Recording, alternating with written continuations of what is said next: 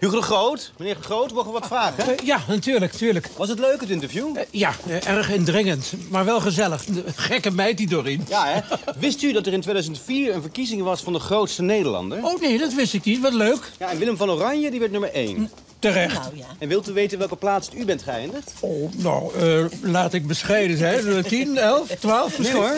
Nee, hoger? Nee, nee, lager. Oh. Welke plaats dan? Nou, voor Leeuwenhoek op 4, de Ruiter op 7 en Rembrandt op 8. Ja, ja, ja, ja. En ik? Nummer 31. 31? Nou ja, zeg, belachelijk. 31, baalt u daarvan, zo laag? Ja, eh, we gaan. ervan? Tot ziens. Dag. Meneer de Groot, waarom gaat u nou? Maria, kom. We zijn weg. de Groot. Kom, alleen. Hugo de Groot, nummer 31 van de grootste Nederlanders.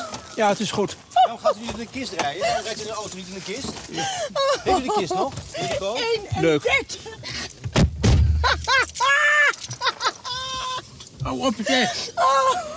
Hou op. Dan ga je gewoon. Ach, Houd toch op.